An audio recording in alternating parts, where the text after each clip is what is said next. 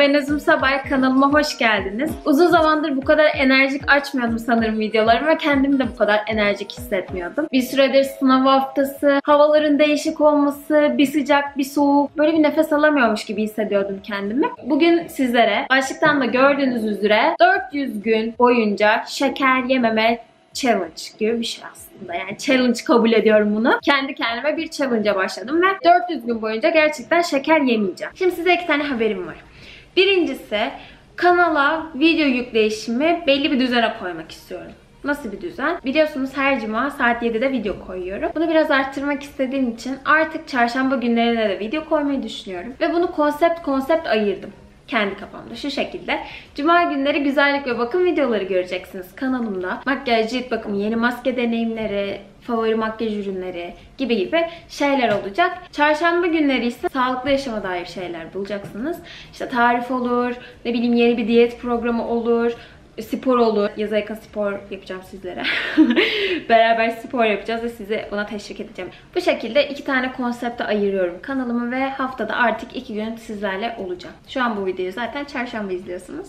Çünkü bu bir sağlıklı yaşama teşvik videosu. Şimdi hemen şundan bahsedelim. Şekeri yemeyi bırakmaya nasıl karar verdim? Ben şekeri bırakmaya karar verdiysem bence şu an bunu izleyen herkes şekeri bırakmaya karar verebilir. Benim midem bölük Ne kadar ben yemek yersem yiyeyim, tıka basa doyayım, böyle artık hani yani burama kadar dolsam bile bende resmen tatlıya özgü başka bir mide var. Tatlı varsa ben o yemeğin üstüne sanki böyle hiç yemek yememişimcesine tatlı yiyebiliyorum. Böyle lanet, böyle bir pis midem vardı. Ama tabii ki kötü etkisini her ne kadar bilsek de ayılıp bayıldığınız için tatlılara yemekten bir türlü vazgeçemiyoruz. Ta ki 10 gün öncesine kadar. Yeni yılla beraber kendime daha iyi bakacağıma, daha sağlıklı olacağıma, daha sağlıklı beslenmeye çalışacağıma, elimden geldiğince pozitif bir şekilde kendime katkılarda bulunacağıma dair sözler verdim. Bu da bence onlardan biri oldu. Hayatımda çok büyük bir etkiye sahip olacak bir karar olduğunu düşünüyorum. Şekerle yollarımı ayırdım. 10 gün oldu. 10 gündür şeker tüketmiyorum. Instagram'dan beni takip ediyorsanız da yaptığım şemayı görmüşsünüzdür. Şöyle bir program.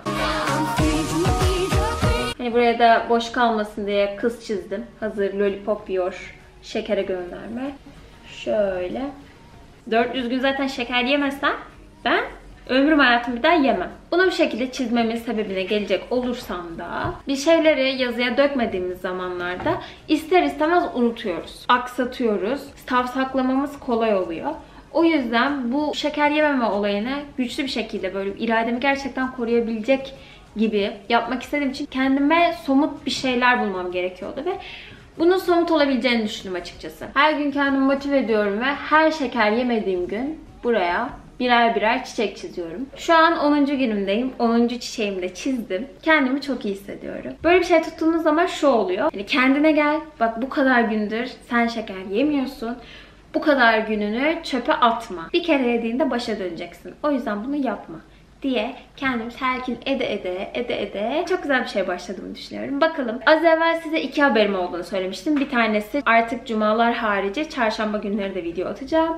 İkinci haberim ise ayda bir bu 400 gün şeker olayı nasıl gidiyor? Vücudumda ne tip değişiklikler gözlemledim gibi bilgilendirme ve güncelleme videoları çekmeyi düşünüyorum. Yani bu bir seri olacak kısacası. Bunu sizinle paylaşmak benim için aslında çok önemli. Çünkü olur da aranızdan birkaç kişiyi bile olsa etkileyebilirsem ve sizler de benimle beraber bu programa başlarsanız Parantez içinde şu an birkaç arkadaşım benimle beraber başladı ve güzel bir şekilde yolumuza devam ediyoruz. Sizin de aranızdan çıkar ve benimle beraber bu yola baş koyarsa, şekeri hayatımızdan tamamen çıkartırsak böyle yayılırız ve harika sağlıklı beslenen, zehirlenmeyen bir topluluk oluştururuz diye düşünüyorum. Önceden şeker yememe sebebim Sadece göbeğimiz lömbük lömbük olduğunda kiloydu. Yaptığım araştırmalarla fark ettim ki şekerin o kadar çok zararı var ki bize. Kanser hücrelerinin bir kere en sevdiği şey şeker. Dişlerin çürümesine sebep oluyor. Dişlerin çürümesinin sonucu olarak böbreğimizi, bağırsağımızı olumsuz yönde etkileyen şeylere sebep oluyor. Zehir tam zehir. Gerçekten yüzlerce zararı var ve bu videoyu tabii ki sizlere tek tek şeker yerseniz bir şu olur, iki şu olur diye anlatmayacağım. Şekerin zararları diye araştırdığınız zaman zaten pıtı pıtı pıtı pıtı hepsi çıkıyor. Sadece açın ve okuyun. Onların hepsini okuduktan sonra hala şeker yemek isteyecek misiniz?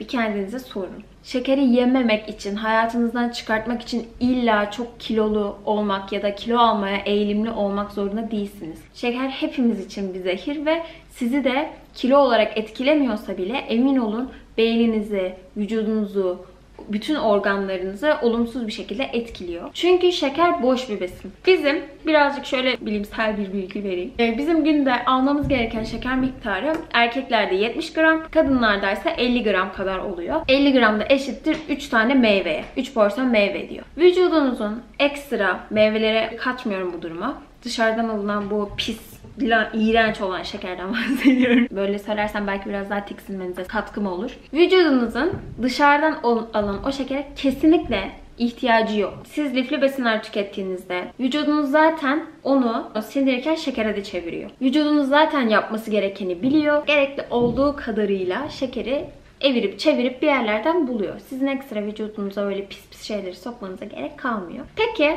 bu 400 günlük şeker yememe programında nasıl hiç şeker yemeyeceksine gelecek olursam. Bu biraz bence önemli. Canımız tabii ki şeker çekecek. Tabii ki şöyle bir tatlı ihtiyacımızı gidermek isteyeceğiz.